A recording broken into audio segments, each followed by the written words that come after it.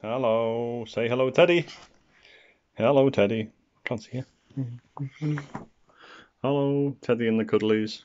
Mm, and his, his pyjamas just got to sum up what I am today. Don't know why, but I feel shattered.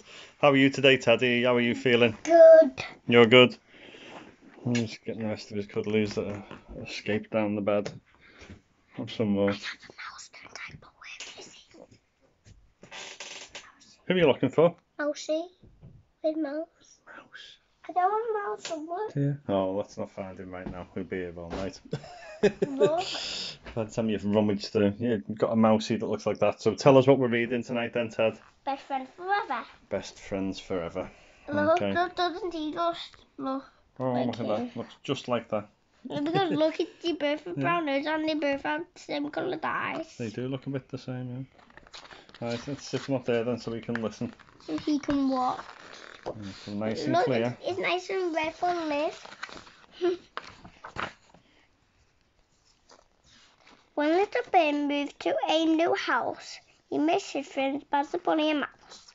To make little bear feel better, Mummy said, Write them a letter, little bear wrote. Mouse, I miss your squeak. I miss your giggles. Bunny, I miss the way your nose wiggles. Wiggles. Wiggles. I hope that you all miss me too. That's why I'm sending this letter to you. Read it nice and clearly. Not rush. Swiss a Rough. Swiss a wolf. A Wind. rough wind blew. It snatched the letter and away it flew.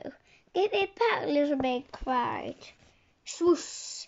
But he couldn't catch the letter, however hard he tried. Mommy felt very sorry for little bear. She hugged him tight and said, There, there. There. Whoosh! The letter blew all around and landed by Badger on the ground. Badger opened the letter from Little Bear and read all the lovely words written there. Bunny called Badger. I've got something to show you. Bunny read the letter and wrote some words too. Hello, Little Bear. It's Bunny. I miss you because you're colly and funny. Did you put wiggle on? Who does that? Who does that? Bunny and Badger ran to see Mouse. They tapped on the wooden door of his house. Mouse read the letter and wrote some words for his friend. I hope that our friendship will never end.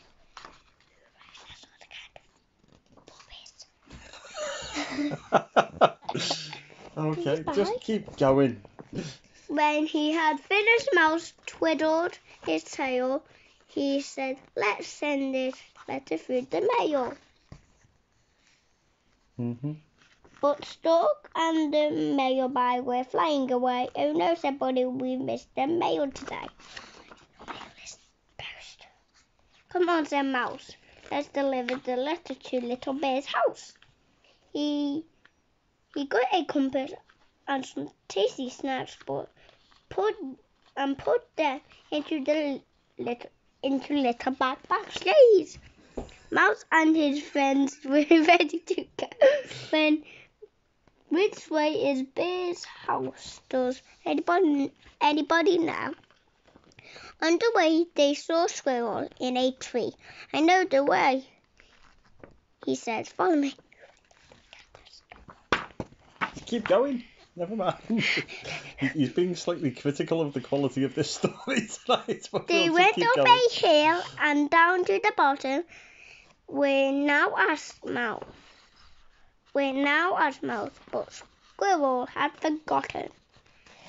They had to walk a long time that day until they met Fox and asked him the way.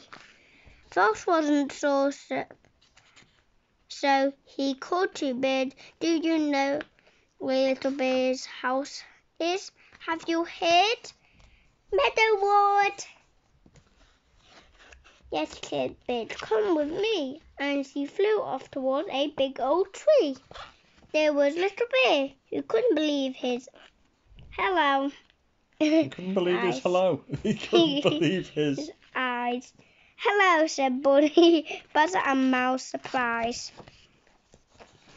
Little Bear read the letter and it made him smile. Thank you, he said. Please stay for a while.